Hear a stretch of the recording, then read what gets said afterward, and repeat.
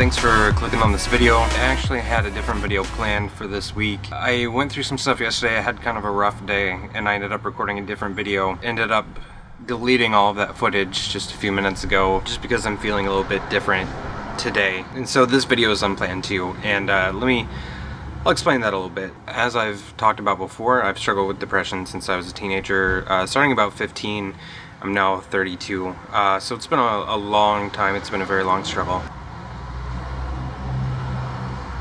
And I think it was just hitting me really hard yesterday because I was just in a, a bad mood all day and I was just feeling really depressed, really down.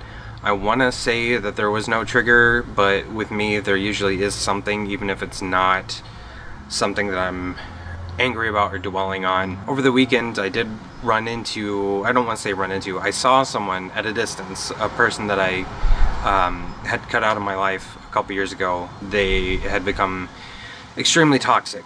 I've probably alluded to it or mentioned it before, but I'm not going to get into all of that story right now because that's definitely going to be its own thing. Basically, the, the best way to describe it is I saw this person and it just reminded me of all the the anger and rage and pain that this person put me through for a very long time. It didn't help that I had been drinking.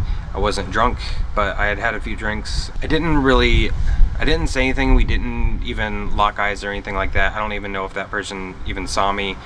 If they didn't, totally fine with me. Don't really care. I didn't really talk about it or let myself um, really feel the the pain that I was having at the time. I just kind of bottled everything up and I was like, let me unpack this later when I'm sober. The day after came and I really didn't do that. I just kind of, I don't know, I, I didn't think about it and I felt like that wasn't a big deal. I was like, oh, okay, I'm fine today. So I guess I don't really need to talk about it or think about it. And, and so I just kind of let it die there. But yesterday is when it really all came down and it wasn't and it wasn't from a place where I was thinking about it a lot or anything like that. It was just like the weight of the anger and the pain and things like that I had were being felt. I don't have the same anger towards this person now that I did back then, but like I said, it was just kind of a seeing that person was a reminder of all of the the pain and issues that I had. So instead, all yesterday, it just kind of felt like gravity was heavier than usual, you know? Like I'm being weighed down more, like everything's a little bit more of a struggle, and that's probably the best way I can describe how I feel when I'm going through um, a depressing time or a depressive episode. My depression's usually very under control. I don't struggle with it as much as I used to. Some of it is the medication I'm on. Uh, I'd say a lot of it's probably the medication I'm on. Uh, a good portion of it is also therapy. I'm not going anymore because my insurance is way too high for going to my therapy sessions. But in the time that I did have therapy, there was a lot of soul searching and exploration going on and, and understanding the reasons I feel the way I do about certain things or the reasons that I make some of the choices that I do, whether positive or self-destructive. Through that, I've really kind of focused on the way I see myself interacting with the world around me and the kind of effects I can have on it and the effect it can have on me. That in itself has improved my depression a lot. And don't get me wrong, that's a privilege that I have. That's something that other people don't have yet. And I think it's a place that everyone can get to, but the length of time, the path is longer and harder and more treacherous for other people than it was for me. And I've been dealing with this for like 17 years. As I was feeling this yesterday, I uh, put out an Instagram post and just kind of was lamenting the way I was feeling. Like, I don't want to feel like this.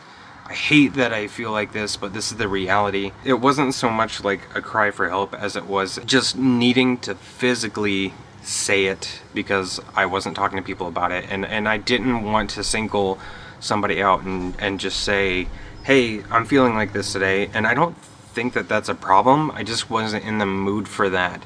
And I knew that I had a platform where I could just say it without like I said, singling a certain person out. I have family and friends and my girlfriend that would readily listen to anything I have to say. I just wasn't in the mood to, to, to do that at the time. I just wanted to personally say thank you for those of you that uh, gave a nice comment or messaged me directly because I had quite a few of those and they were very uplifting and uh, the, the first person that reached out, I mean within like less than a minute of me posting was my best friend and co-host of my podcast Saturday Morning Cartoon Boom, Joseph. So Joseph, thank you so much. I don't know if you'll watch this, but your friendship means the world to me. Uh, getting sappy, getting getting man sappy. That's never fun to see, right?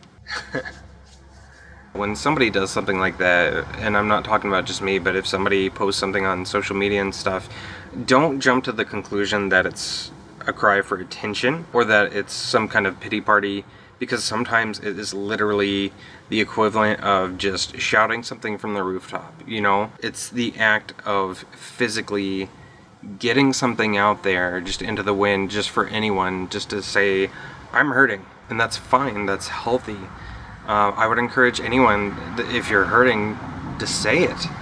And whether it's like me and putting it on social media or telling a certain person or a group of people or friends or family say it.